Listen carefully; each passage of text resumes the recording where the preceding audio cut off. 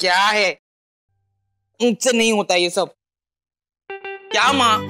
जाने के टाइम में सिर्फ़ दो बैग तो यहाँ पे आते आते चार बैग कैसे हो गए? ओह। अरे बेटा मैंने ना शादी की बाकी बची हुई मिठाइयाँ ना भी पैक करके ले आई हूँ तेरे लिए। अरे पर चारों बैग एक साथ उठा के मेरी हालत खराब हो गई है ना माँ? ओहो पुत्र सॉरी यार। वो क्या तेरे पापा नहीं आए ना इसीलिए पुली की तरह तुझे काम करना पड़ रहा है।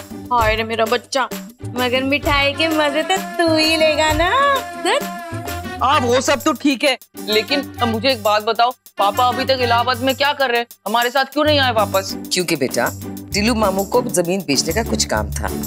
जैसे काम खत्म हो जाएगा तेरे पापा आ जाएँगे।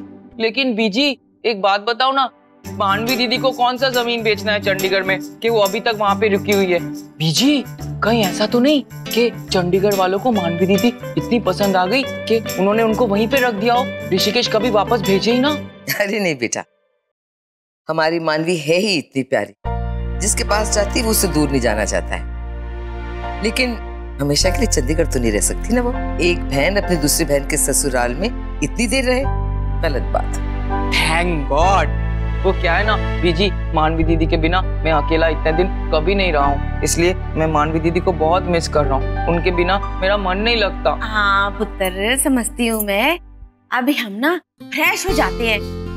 अब हम वापस आ चुके हैं ना? तो हम चंडीगढ़ वालों को फ़ोन करेंगे और उन्हें कहेंगे कि जल्दी से हमारी मानवी को वापस भेज दे। हाँ। लेकिन बीजी क्या जीविका दीदी हमसे कभी मिलने नहीं आएगी? वो क्या है ना? मैं उनको भी बहुत मिस करता हूँ। जीविका भी आएगी बेटे। तुझे याद है ना? जीविका के पग फेरे की रस्म अभी तक बाकी है। वीरेन और जीविका दोनों आके कुछ दिन हमारे साथ रहेंगे। फिर तेरी जितना दिल करेगा ना तू उनसे बात कर लेना। हाँ इसका मतलब जीविका दीदी मानवी दीदी दोनों एक साथ ऋषिकेश में वापस कितना मज़ा आएगा। यस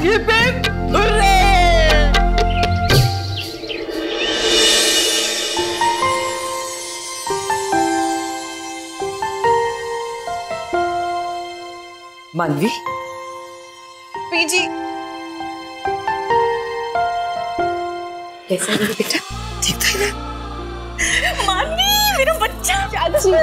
राजा बेटा मेरा। शुक्र है तू आ गई। बड़ा सुना सुना लग रहा था घर। चल आजा हाय। शुक्र है तू आ गई। अरे डब्बू कहाँ है?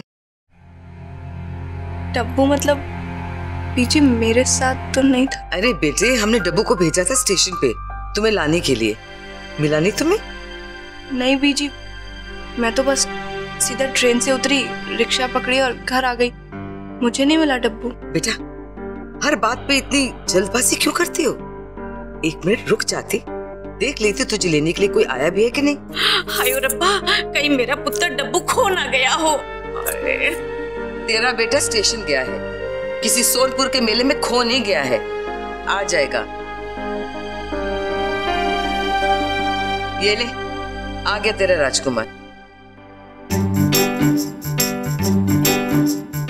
क्या मानवी दीदी, मैं आपके बाजू में खड़ा होकर आपको हाथ दिखा दिखा के बुला रहा था और आपने मेरी तरफ़ एक बार भी नहीं देखा।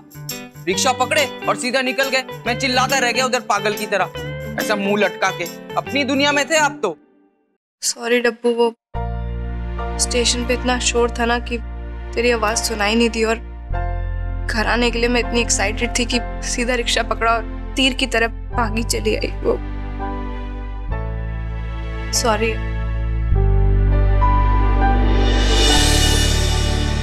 तूने अपने बालों के साथ क्या खिलवाड़ किया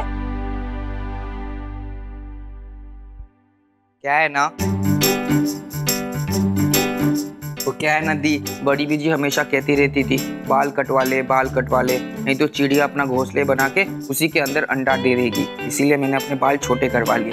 और वैसे भी, शाहिद कपूर ने भी अपने बाल छोटे करवा रखे हैं, इसलिए मैंने सोचा कि मैं भी अपने बाल कटवा लेता हूँ। यू लुक यू सी वैसे दी how do you like my new look तो कुछ भी कर ले, डब्बू। रहेगी तो मेरी दूसरी बहन। देखो ना। मज़ाक कर रहे हो। अच्छा लगा। क्यूट क्यूट तो मैं हूँ। मानवी दीदी आपने चंडीगढ़ जाके मुझे मिस किया कि नहीं? बहुत मिस किया डब्बू। बहुत सारा मिस करती थी पता है। पीजी मैंने आपको चाची को चाचू इस घर को परदादी सब सबको बहुत मिस किया है पीजी हमने भी तुझे बहुत मिस किया बेटा।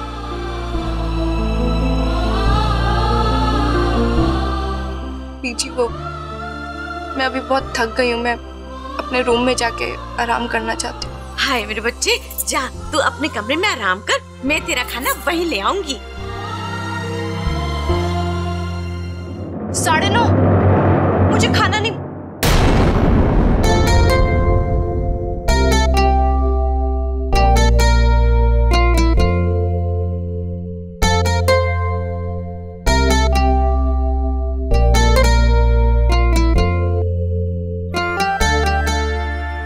गॉड, मैं मैं चंडीगढ़ में नहीं हूँ अभी।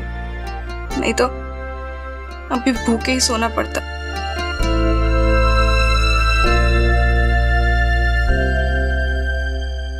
क्या हुआ बेटा? तेरी आँखों में आँसू? चंडीगढ़ वालों ने कुछ कहा? कुछ हुआ चंडीगढ़ में बेटा? बता ना।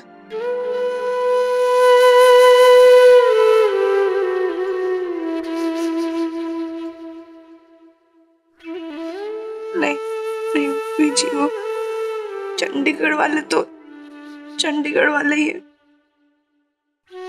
बस, दीदी की याद आ गई बीजी दीदी।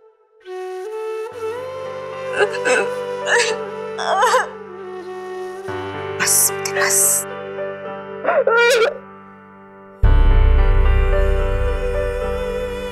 बस। हम सब है ना तेरे साथ मानवी क्या बात है बेटा? तू रो क्यों रही है? क्या हुआ मानवी बता ना क्या हुआ बेटा?